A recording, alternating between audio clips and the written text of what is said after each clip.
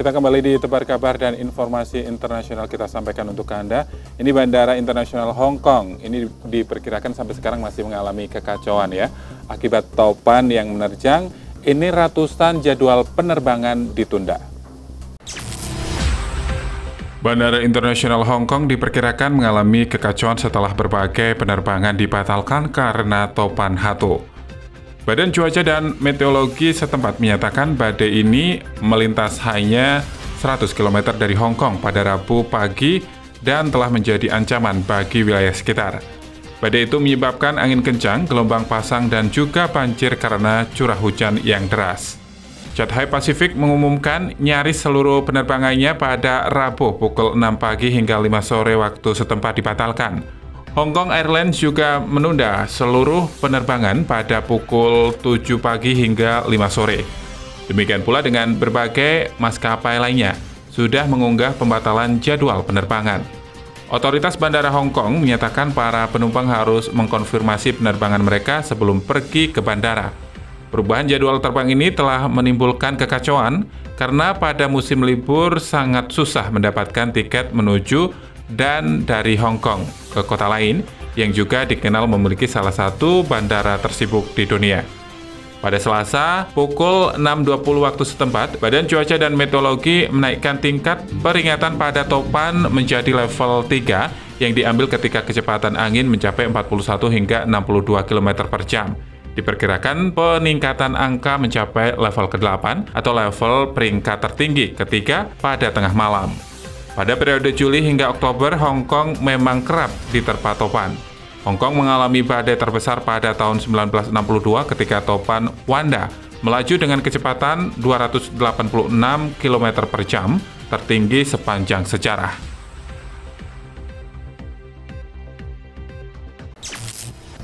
Hong Kong Airlines ini semuanya ya jadwalnya ditunda bahkan sampai sekarang belum ada jadwal penerbangan akibat uh, tepaan topan yang ditakutkan ini uh, menelan korban jiwa. Ya, untuk bandara Hong Kong sendiri kita tahu ini uh, traffic atau lalu ya. lintasnya sangat padat ya. Ini termasuk bandara yang terpadat di dunia. Dan untuk menghindari hal-hal yang tidak diinginkan tadi karena kita tahu ini topan Hatu ini kekuatannya hmm. juga cukup dahsyat. Ini bahkan masuk level 5 kemarin ya. Dan ya. sekarang udah naik ke 8. Naik ke 8 ya. luar biasa. Jadi walaupun untuk Hong Kong sendiri sebenarnya uh, kenanya cuma splatnya saja, hmm. tapi ternyata uh, dampaknya juga kita lihat di tayangan tadi ini beberapa kawasan di Hong Kong juga uh, banyak bangunan yang hampir roboh terkena uh, splat dari topan Hatu tersebut. Ya, sementara itu dari otoritas Hong Kong juga sudah menyiagakan tim tanggap darurat mm -hmm. dan kalau ber, uh, berdasarkan data yang ada ini Hong Kong mengalami topan Hato atau uh, sekelas topan Hato ini yang paling parah pada hmm. tahun 1962. Iya, menewaskan ratusan orang ya. Baik dan untuk Anda ingin mengetahui ini kabar beberapa waktu lalu ketika Presiden Amerika Serikat Donald Trump mengatakan bahwa mereka atau angkatan uh, darat dan laut Amerika Serikat akan mengirimkan lagi tambahan 4.000 personil ke Afghanistan ini ternyata disambut oleh militan Taliban dengan sebuah ledakan bom bunuh diri di kantor polisi Afghanistan. Serangan bom mobil di sebuah kantor polisi di selatan Afghanistan menewaskan lima orang dan melukai puluhan lainnya termasuk anak-anak. Juru bicara Gubernur Helman Omar Zok mengatakan, pelaku bom bunuh diri meledakkan sebuah mobil sekitar pukul 8 waktu setempat di tempat parkir dekat kantor polisi di Laskar Gah. Perempuan dan anak-anak turut menjadi korban bom tersebut. Pemerintah menyebut serangan itu dilakukan oleh kelompok Taliban.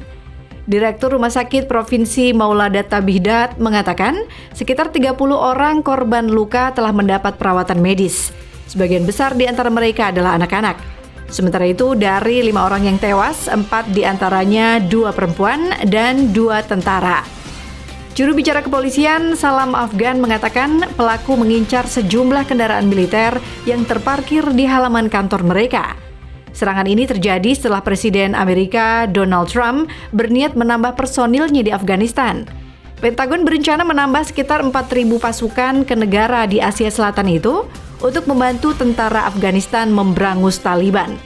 Taliban masih menjadi ancaman keamanan bagi pemerintah dan rakyat di negara tersebut.